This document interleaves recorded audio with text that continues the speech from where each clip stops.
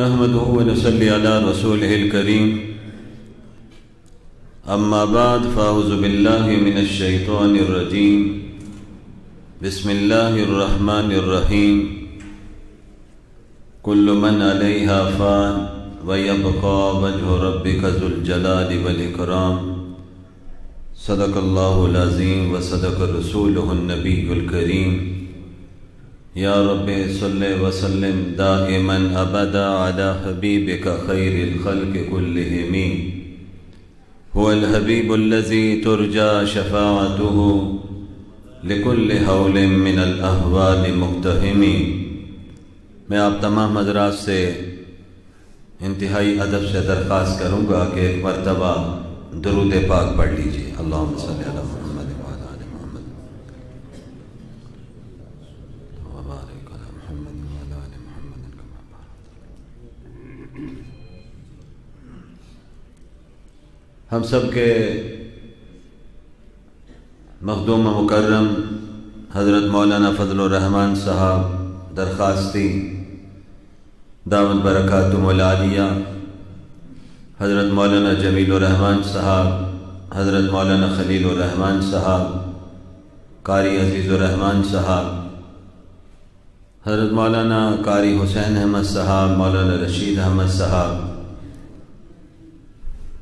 Stage پر تشریف فرما ہے آپ حضرات نے ہمارے اکابرین کے بیانات سنے ہیں۔ یقیناً میرے بعد بھی آپ حضرات کے سامنے بہت سے بزرگ تشریف لایا چاہتے ہیں۔ ہمارے مخدوم حضرت مولانا زاہد الراشتی صاحب دامد برکات العالیہ، حضرت مولانا مفتی حبیب الرحمن صاحب درخواستی مولانا جمیل الرحمن اختر صاحب اسی طرح جمعیت علماء اسلام راول پنڈی حسن عبدال ٹیکسلا کے ذمہ داران بھی تشریف فرما ہیں۔ وہ بھی آپ حضرات سے ابھی تھوڑی دیر میں مخاطب ہوں گے۔ آج کے اس تعزیتی پروگرام میں جو حضرت مولانا فدا الرحمن درخواستی رحمۃ اللہ علیہ کے مرکز میں ہو رہا ہے۔ حضرت نے بڑی محنت سے اس گلشن کی آبیاری فرمائی۔ اور الحمدللہ کہ آج آپ دیکھ رہے ہیں۔ حضرت کے دنیا سے تشریف لے جانے کے بعد مرکز آباد ہے۔ اللہ کے قرآن کی آواز گونج رہی ہے۔ اور میرا ایمان ہے کہ انشاءاللہ یہ مرکز بھی اور دین کے مراکز بھی قیامت کے دن تک آباد رہیں گے انشاءاللہ۔ شاء حضرت کے اس مرکز میں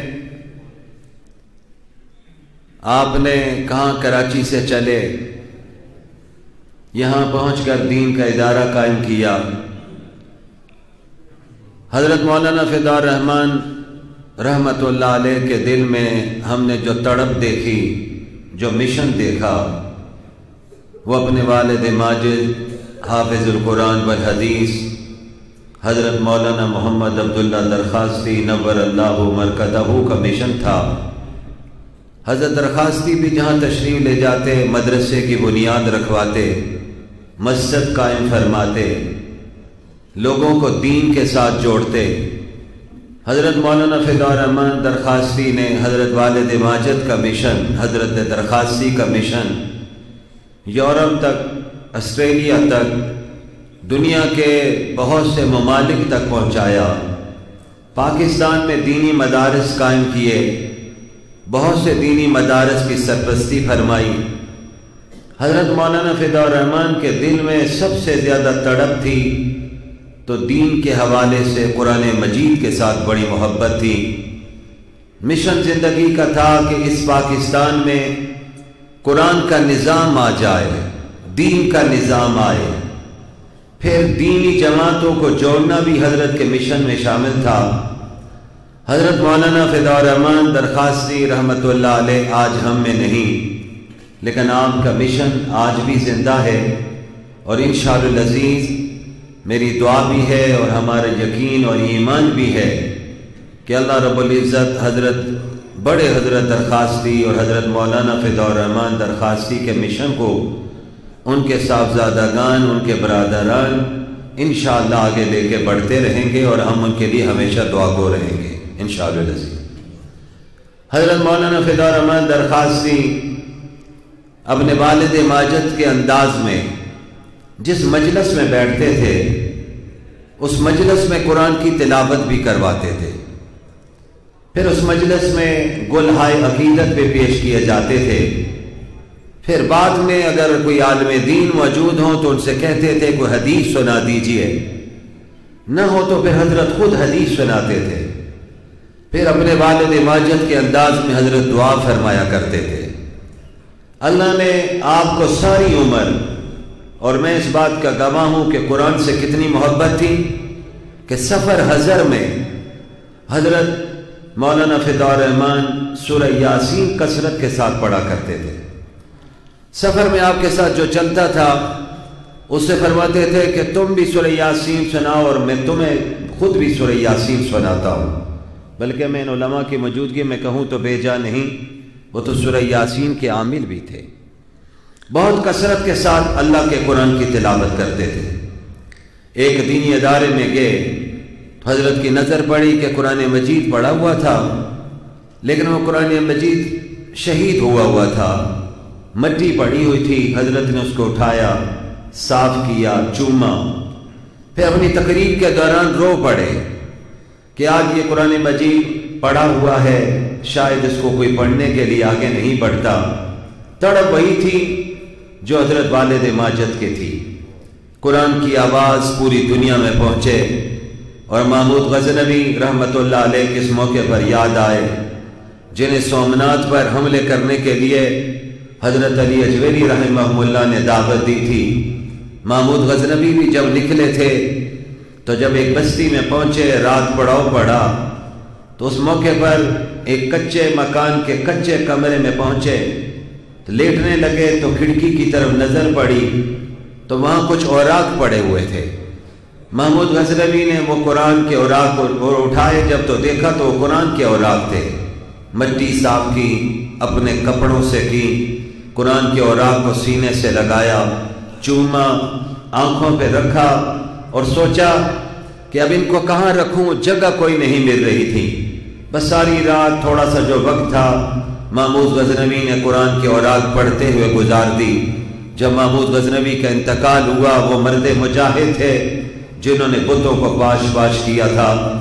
اور محمود غزنوی سے کہا گیا تھا، ان بتوں کا نہ توڑو اس کے بدلے میں جتنا سونا جواہرات تم چاہو تو ہم تمہیں دے دیں گے۔ تو محمود غزنبی نے جواب میں کہا تھا کہ میں تاریخ میں اپنا نام بت فروش بن کر نہیں، بت شکل بن کے لکھوانا چاہتا ہوں۔ میں اپنے پیغمبر کی سنت کو زندہ کروں گا۔ یہی محمود غزنبی کا جب انتقال ہوتا ہے، کسی اللہ والے نے پوچھا، محمود، کیا بنا؟ فرمایا، اللہ کے ہاں جب پیش ہوا تو میرے پروردگار نے کہا، محمود جب تم نے اس رات میں بیٹھ کر ہمارے قرآن کی عزت کرتے ہوئے، اس قرآن کو اور رات کو پڑھتے ہوئے پڑھتے گزار دی تھی، ہم نے اسی وقت تمہاری مغفرت کا فیصلہ فرما دیا تھا۔ میرے آج کے استازیتی پروگرام کے شرکا، میں آپ کو یہی دعوت دیتا ہوں۔ ہمارے اکابر کا یہی مشن تھا۔ امام الولیاء حضرت مولانا احمد علی لاہوری رحمہ اللہ نے چالیس پینتالیس برس تک اللہ کے قرآن کا درس دیا ہے، جیل میں بھی دیا ہے، ریل میں بھی دیا ہے۔ پھر اللہ نے مقام یہ دیا کہ لاہور میں جب جنازہ اٹھا تو ایک تاریخی جنازہ تھا، جس میں لاکھوں افراد شریک ہوئے تھے۔ موبائل کا دور نہیں تھا، نیٹ کا دور نہیں تھا، دنیا کے پاس میڈیا کا دور نہیں تھا۔ بس اللہ نے لوگوں کے دلوں میں ڈالا اور امام احمد بن حنبل رحمہ اللہ کے وہ تاریخی جملے ہمارے جنازے فیصلہ کریں گے، حق اور صداقت کے حوالے سے فیصلے کریں گے۔ زندہ دلال لاہور نے دیکھا، حضرت لاہوری کے جنازے میں لاکھوں افراد شریک تھے اور ہم نے خان پور میں حضرت درخواستی کا جنازہ دیکھا تھا۔ ڈیرہ اسماعیل خان کے باسیوں نے حضرت مولانا مفتی محمود کا جنازہ دیکھا تھا۔ بفا میں لوگوں نے حضرت مولانا غلام گوش ہزاروی کا جنازہ دیکھا تھا۔ گجرا والا میں دنیا نے حضرت مولانا سرفراز خان صفدر کا جنازہ دیکھا تھا۔ دنیا جانتی ہے، یہ آپ کے اکابر تھے جنہوں نے استقامت کے ساتھ دین حق کے لیے جد و جہد کی تھی۔ اللہ نے لوگوں کے دلوں میں ان کی محبت پیدا کر دی تھی۔ پھر ہم نے حال ہی میں جنازہ دیکھا۔ تو حضرت مولانا فدا الرحمان درخواستی کا دیکھا۔ کہاں کہاں سے لوگ آئے؟ نیکوکار آئے۔ آج تو جنازے میں محلے کے لوگ بھی شریک نہیں ہوتے۔ حضرت مولانا فدا الرحمان کے جنازے میں قرآن کے حفاظ تھے، قرآن کے علماء تھے، دین کے طالب علم تھے جو حضرت کے جنازے میں شریک ہوئے تھے۔ میرے بھائیوں آئیے ہم بھی اپنی زندگیوں کو بدلیں، قرآن سے اپنے تعلق کو مضبوط کریں۔ حضرت درخواستی کے مشن کو لے کر آگے بڑھیں۔ حضرت درخواستی کا مشن بہت واضح تھا۔ جیسے حضرت مولانا عبد الغفور حیدری بیان کرتے ہوئے آپ کے سامنے یہ بات رکھ رہے تھے کہ یہ پاکستان جو کلمے کے نام پہ بنا، ایک نظریے کے بنیاد پر بنا تھا، آج اسی پاکستان میں اسی کلمے کے نظام کے لیے جد و جہد کرنی ہے۔ آپ کے اکابرین میدان عمل میں ہے آپ نے بھی آگے بڑھنا ہے، ان کا ساتھ دینا ہے اور ہمارا ایمان ہے کہ وہ وقت آئے گا انشاءاللہ۔ کہ پاکستان میں مکمل اسلامی نظام ضرور نافذ ہوگا۔ کہہ دو انشاءاللہ مجاہدوں کی طرح کہو انشاءاللہ میرے بھائیوں، میرے جوانوں، میں تفصیلات میں نہیں جانا چاہتا ہوں۔ اللہ والے ایک بہترین زندگی گزار کے جاتے ہیں، پیچھے مشن چھوڑ کے جاتے ہیں۔ اللہ والے جس جگہ پر بیٹھتے ہیں، ان کی زبان سے اللہ کی صدا نکلتی ہے۔ ان کی آنکھوں میں حیا ہوتی ہے۔ ان کے زبان اور دل پر اللہ کا ذکر ہوتا ہے، ان کے ہاتھ میں سخاوت ہوتی ہے۔ ہم نے یہ باتیں حضرت درخواستی میں دیکھی۔ میں نے یہ باتیں حضرت مولانا زہد و راشتی تشریف فرما ہے، حضرت مولانا عبید اللہ انور نے دیکھی۔ مولانا جمیل الرحمان صاحب کے ہاں پروگرام میں میں نے ایک جملہ کہا تھا، وہ جملہ یہاں دہرانا چاہتا ہوں۔ ہم نے ایک وقت میں ایک ولی ابن ولی دیکھے تھے اور آج کے دور میں بھی ایک ولی ابن ولی دیکھے۔ لاہور میں ولی ابن ولی دیکھے تو ہماری نظروں نے حضرت مولانا عبید الانور کو دیکھا تھا، باپ بھی ولی تھا، بیٹا بھی ولی تھا۔ ہماری نظروں نے حضرت درخواسی جیسے ولی کو دیکھا تھا، پھر ہماری نظروں نے حضرت مولانا فدا الرحمان درخواستی کو بھی دیکھا۔ باپ بھی ولی تھا، بیٹا بھی ولی تھا، ادھر بھی بلائی تھے۔ اور میرے بھائی بیٹھے ہوئے مولانا رشید احمد، انہوں نے جو خواب اپنی والدہ مائدہ کی سنائی کہ حضرت مولانا فدا الرحمان نے آخری چار پانچ روز پہلے خواب دیکھا، حضرت درخواستی تشریف لائے ہیں۔ ساتھ کہتے ہیں، جو تعارف ہوا، اس میں حضرت مولانا خلیفہ غلام محمد کا بھی نام لیا ہے۔ کون حضرت مولانا خلیفہ غلام محمد؟ میں نوجوانوں سے کہتا ہوں، ذرا سے ہسٹری کو بڑا کریں۔ نیٹ کی دنیا پہ جا کے اپنے اکابر کی تاریخ کو دیکھا کریں۔ خانپور بھی جائیے، حضرت درخواستی کے مدرسے کو دیکھیے۔ خانپور جائیے ساتھ ہی بستی ہے، دین پور شریف وہاں کے قبرستان میں بھی جائیے۔ جس قبرستان کے بارے میں حضرت والد ماجد فرمایا کرتے تھے، یہ خطہ صالحین ہے۔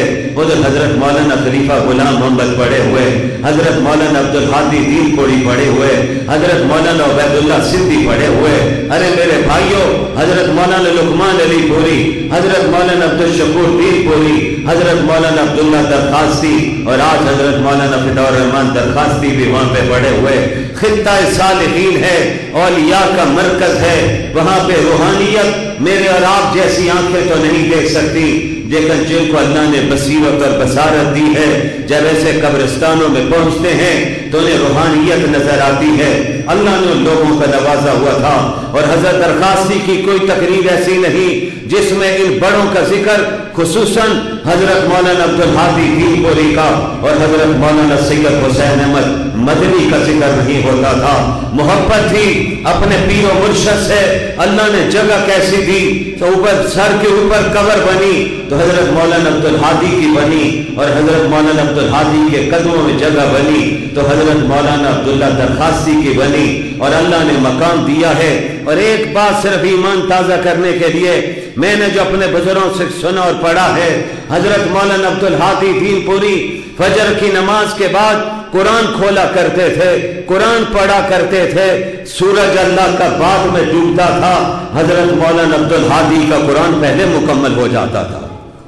روزانہ کے معمول میں شامل تھا۔ آج میرے آپ کے معمول میں ساری چیزیں شامل ہیں، لیکن قرآن کی تلاوت شامل نہیں، اللہ کا ذکر شامل نہیں درود شریف شامل نہیں اسی لیے مشکلات بڑھتی جا رہی پریشانیاں بڑھتی چلی جا رہی آئیے ان پریشانیوں کا مداوع کروانا چاہتے ہیں۔ تو قرآن سے تعلق جوڑ لیجیے، قرآن سے لگاؤ کر لیجیے۔ نبی پر درود پڑھتے رہیے، نماز کی پابندی کیجیے۔ گھروں میں بھی نماز کی پابندی کروائیے۔ سیدے گھروں میں بھی جا کے کیجیے۔ اللہ کی قسم اٹھا کے کہتا ہوں، ایک ایک پریشانی کو میرا اللہ دور فرما دے گا۔ خواب میں دیکھا تفصیل میں نہیں چاہتا ہوں میرے بھائی مولانا رشید بیٹھے ہوئے، ہمارے عزیز ہے ہم ان کے لیے دل و جان کے ساتھ حاضر ہیں۔ آج انہی کی محبت میں سب یہاں پہ جمع ہیں۔ اس دین کے مرکز میں ایک جملہ کہتے ہی چلوں۔ اس مرکز میں ایک بچہ بھی اگر دیر رات میں بیٹھ کر صرف بسم اللہ بھی پڑھ لے، تو حضرت کے لیے یہ فیض چلتا رہے گا، ثواب کا ذریعہ بنتا رہے گا۔ اللہ رتبہ بلند کرتے رہیں گے، لیکن یہاں تو قرآن کی صدا گونج رہی ہے، قرآن کی آواز گونج رہی ہے۔ کہتے ہیں، والد ماجد نے کہا،